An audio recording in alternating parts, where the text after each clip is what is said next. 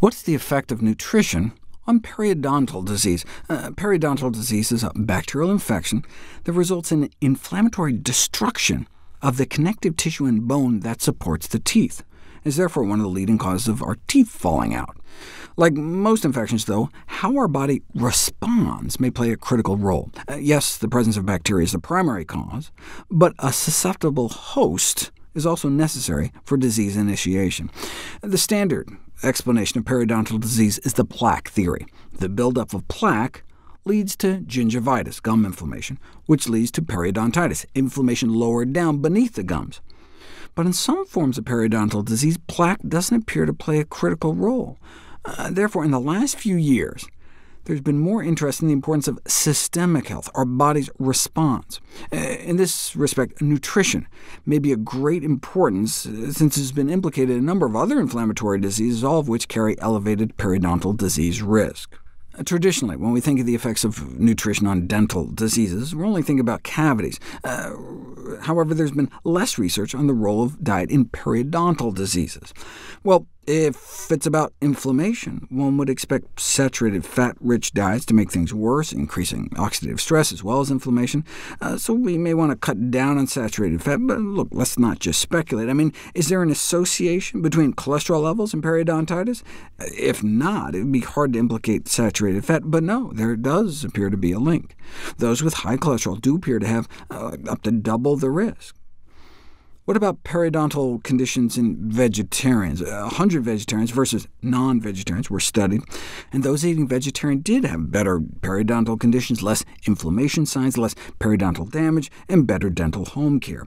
Uh, however, it should be considered that vegetarians may not just be avoiding meat, but are healthier in other ways, like better dental home care. But do people who eat more saturated fat get more periodontitis? Yeah, about double the risk at the highest levels of intake, and this study was in Japan, where they eat less than half the meat and dairy compared to the U.S. The only way uh, to know for sure, though, is to do an interventional trial where you change people's diets and see what happens. In other words, you have to put it to the test.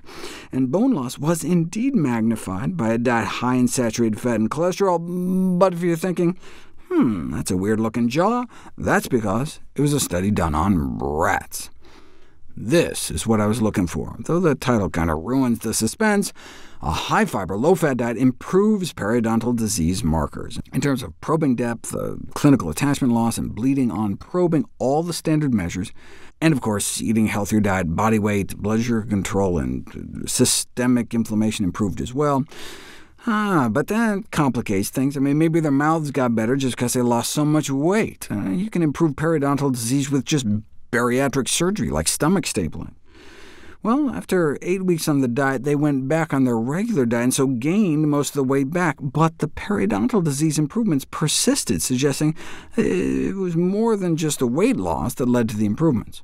Uh, they're thinking maybe the high-fiber diet altered their good gut flora, or maybe their oral flora. Uh, what exactly was going on? Well, German researchers took 20 women, with mild to moderate chronic periodontitis, and for a year tried to transition their diets towards more wholesome nutrition, meaning more plant foods, more whole foods, more fresh foods, uh, trying to center their diets around vegetables and fruit, whole grains, potatoes, and legumes, beans, split peas, chickpeas, and lentils, and after 12 months, the patients showed a significant reduction of probing pocket depth, gingival inflammation, and, measured for the first time, decreased concentrations of inflammatory chemicals inside the crevice between the tooth and gums, uh, which are thought responsible for the tissue destruction in periodontal disease, a decrease by as much as 75%.